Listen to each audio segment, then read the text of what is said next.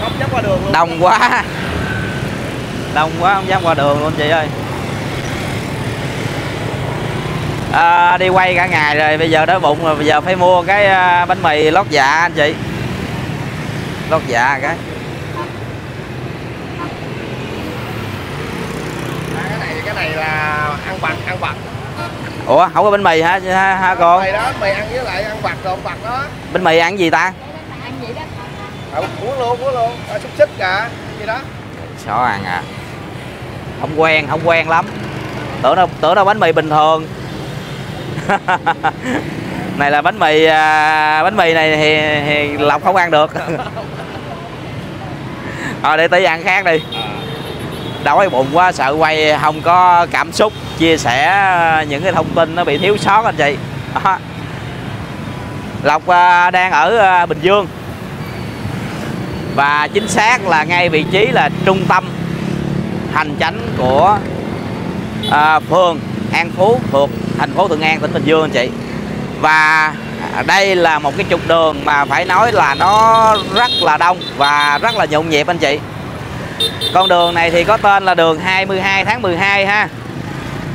Nó sẽ nối liền từ ngay chỗ là ngã 6 An Phú anh chị. Ngã 6 An Phú hướng này nè. Ra quốc lộ 13 đây là một cái trục đường chính. À, nối liền giữa là ngã 6 An Phú sang quốc lộ 13 mình ra ngay chỗ vị trí là ngã 6 An Phú á, thì nó là 2 km à, mình ra ngay quốc lộ 13 thì nó sẽ là 2,5 km ha. Đó, mình đang ở vị trí là chính giữa luôn.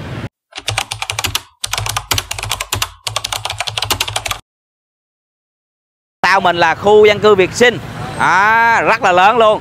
Và khu dân cư Việt Sinh nó có ba cái oxit oxit 1 oxit 2 oxit 3 là một cái à, trong những cái oxit mà là là là, là lớn nhất đó là oxit 1 thì hầu như ở đó là villa. À, villa đồng bộ song lập đơn lập ha. Là dân có tiền không à. Và khu dân cư Việt Sinh qua đây khỏi nói rồi rất là đông và rất là khủng. Và cái đường này thì à, kinh doanh quá là tốt rồi phải nói là kinh doanh quá là tốt rồi. Cái đường này là đường à, huyết mạch rồi. Huyết mạch rồi anh chị. Và hôm hôm nay thì lộc còn à, có một cái sản phẩm đặc biệt hơn nữa là mình có ba cái mặt tiền. À ba mặt tiền đường. Đấy. Một là được mặt tiền đường 22 tháng 12 đó. Hai là mặt tiền đường vào khu dân cư Việt Sinh. Đấy, khu dân cư Việt Sinh đường này nè. Hai mặt tiền đường ha. Và bên đây là một mặt tiền thứ ba nói chung là hiện tại là chỉ có um, uh, chỉ có là, là là hiện trạng uh, là đường trên quy hoạch thôi. Còn mà đường uh, mình không có sử dụng nên là không có uh, không có yêu cầu người ta tháo dỡ công trình ha. Thì nhưng mà nó là đường của nhà nước anh chị. Đây. Đây là mặt tiền thứ ba.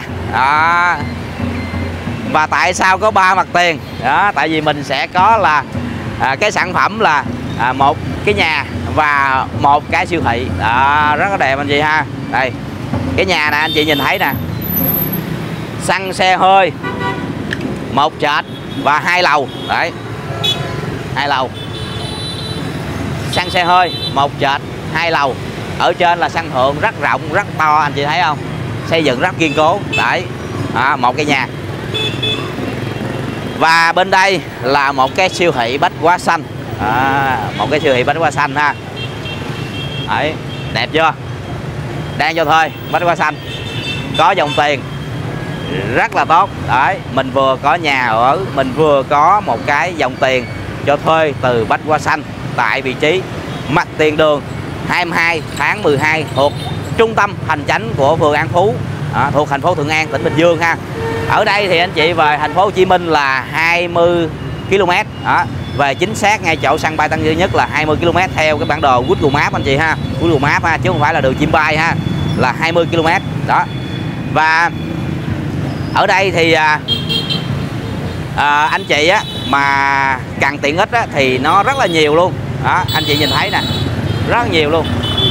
Ở đây là trường à, cấp 1, cấp 2, cấp 3 đại học đồ à, trường quốc tế đồ rất là nhiều. Đó, rất là thuận lợi ha.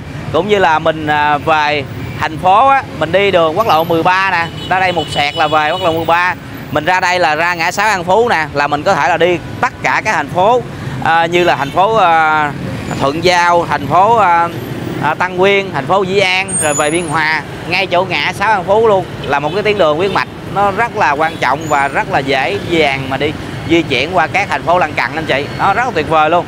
Và hôm nay thì sản phẩm là với diện tích là 441 mét vuông. Cái mặt tiền đường này mà kiếm diện tích mà rộng mà 441 mét vuông thật là một sự rất là khó chị rất là khó luôn. À, chưa kể là mình sẽ có mặt tiền rất là nhiều anh chị. Mặt tiền tặng là 15 mét anh chị ha. Ở cái đường này mà kiếm mặt tiền mà 15 mét thì thật sự nó ôi hôi rồi luôn rất là khó luôn anh chị ha. Và đây nó là một cái cơ hội rất là đặc biệt cho những ai muốn xây những cái tòa nhà cao tầng để mà kinh doanh cho thuê đó ví dụ như là mình cho thuê văn phòng công ty nè này nọ các thứ nè thì cái diện tích mà ngang 15 m dài 30 m anh chị làm một tầng hầm ha. Và ở trên anh chị làm một cái tòa nhà cao tầng để anh chị xây dựng anh chị cho thuê. Ờ, thì Lộc nghĩ là nó quá là tuyệt vời anh chị. Hoặc là mình có thể là đầu tư kinh doanh rất là nhiều ngành nghề ví dụ như là à, karaoke nhà hàng khách sạn đó, và nhiều cái dịch vụ khác luôn. Bởi vì mình có mặt tiền tặng 15 mét anh chị và ba mặt tiền đường. Đấy rất là khủng khiếp anh chị ha. Rồi thì ở đây là ngang 15m dài 30m có là 260m đất là đất ở đô thị anh chị ha. Mình xây dựng thoải mái luôn anh chị. 260m đất ở đô thị mình có thể là xây tòa nhà rất là thoải mái luôn. Đó và à, rất là dễ dàng. Rồi thì à, cũng như là với cái giá ha thì hiện tại là cái siêu thị này à, lộc cũng không có cần quay đâu. Tại vì cái siêu thị nào cũng như nhau hết. Cũng có những cái uh, gọi là kệ để đồ chứ không có gì hết. Còn cái nhà thì có uh, một xăng xe hơi một chợt hai lầu ở trên sân thượng thì cũng không có gì đặc biệt đâu. Quan trọng ở đây đó chính là một cái vị trí. Đó, vị trí đánh giá lên cái giá trị của bất động sản anh chị ha. Rồi thì hiện tại là với một cái mặt tiền như thế này đang có thu nhập là 50 triệu trong một tháng thì chủ đang mong muốn bán với lại một mức giá là 34 tỷ anh chị. À, 34 tỷ thì tính ra nó là 77 triệu cho một mét vuông anh chị ha. 77 triệu cho một mét vuông. Nằm tại mặt tiền đường 22 tháng 12 nói liền giữa là quốc à, nói liền giữa là ngã tư ngã sáu An Phú sang quốc lộ 13 mình đang nằm ở chính giữa một con đường huyết mạch à, của đường 22 tháng 12 luôn. À, rất là tuyệt vời anh chị ha rồi, thì với giá là 77 triệu cho một mét vuông thì anh chị cảm thấy là phù hợp với lại nhu cầu.